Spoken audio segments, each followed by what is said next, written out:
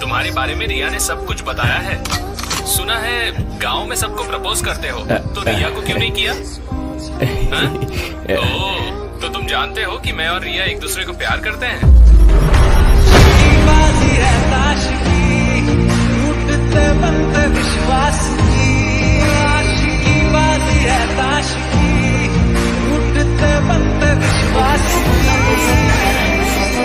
Sorry Krishna. नहीं नहीं इसमें तुम्हारी कोई गलती नहीं है।